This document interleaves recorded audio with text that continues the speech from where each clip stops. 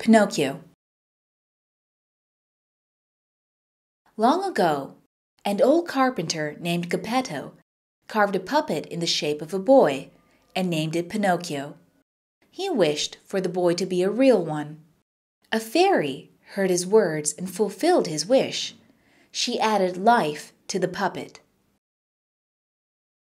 But she warned Pinocchio that if he wanted to be a real boy, he must always be a good boy. Geppetto loved him dearly, but Pinocchio was quite naughty and seldom spoke the truth. As soon as he lied, his wooden nose would grow long. He always promised to be a good boy from the next time, but he soon forgot his word and he left school with his friends to join the circus. But he began to miss Geppetto. One day he heard that his father had been swallowed up by a huge whale.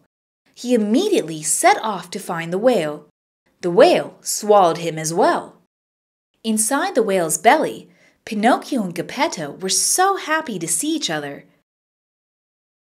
They made a plan to get out and began tickling the whale's stomach. As soon as the whale opened his mouth and sneezed, Pinocchio and Geppetto shot out.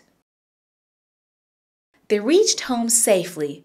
The fairy was pleased with Pinocchio's bravery that she turned him into a real flesh and blood boy. From that day, he was a very good boy and never missed school. The father and son lived happily ever after.